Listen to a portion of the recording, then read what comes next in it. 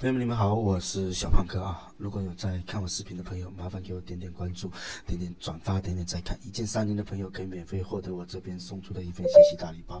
之前我们就有聊过，就是三十五类，它是属于一个万能的商标，非常香。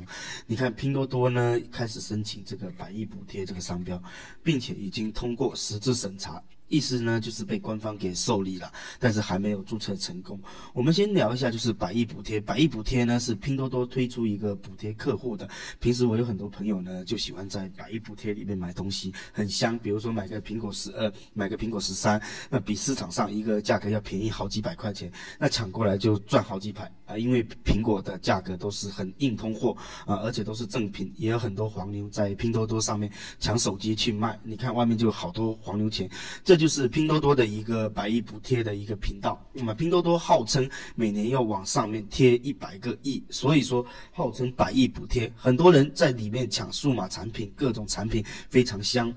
慢慢的，它也类似一个天猫季划算，或者说淘宝双十一的比较成功的一个电商活动的一个频道吧。那么现在有很多平台也开始慢慢有这个百亿补贴，某宝、某东也有啊，只不过名义上啊没有叫百亿补贴。那么百亿补贴申请商标，我估计它是受某宝的影响，因为某宝把双十一给注册成一个商标，并且成功拥有。多个双十双十一类别的一个商标，我们都知道，每年双十一它的购物量非常庞大。双十一这个品牌已经深入人心，某宝啊，它把这个双十一商标牢牢拿住。那么现在某多多，它也怕别人把这个商标给抢住了。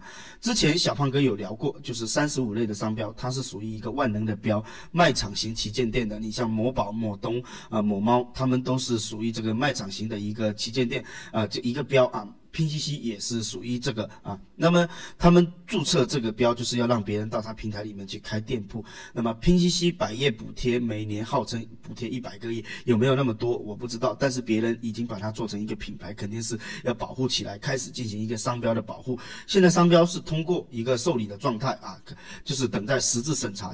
什么叫实质审查呢？就是你提交了之后，给你一个受理书，然后开始慢慢审核你这个商标的状态，能不能给你注册这个商标。这个时候呢，审核这个商标能不能给你注册啊？有没有关联到什么商标？实际实啊，实质审查中最主要的一个驳回就是经常会有商标缺乏显著性。所以说拼夕夕呢，提交这个百亿补贴的商标呢，通过的可能性不是很大，但是有申请就一定有机会。百亿补贴这个商标申请的内容呢，我也有大致看了一下。就是我们平时申请那些什么广告、替他人推销等等，再一次验证小胖哥跟之前跟大家聊了三十五类，它特殊属于一个特殊特殊的一个万能标。很多朋友说三十五类的商标没有用，那么京东卖场型旗舰店啊，开店就是要这种商标，电商平台也一直要这种商标。你说没有用，大平台不可能一直这样去搞。最后我不知道说拼夕夕这个商标能不能申请成功，但是百亿补贴是拼多多的一个呃在进行的一个活动啊，未来它有可能成为一个很大的品牌，所以说提前布局是正确的。朋友们啊，如果说有商标，一定要提前提前去布局，这样的话才不会错过，后期不会被别人敲竹杠子，找我啊，小胖哥就是那个帮你布局商标的人啊，商标官方代理。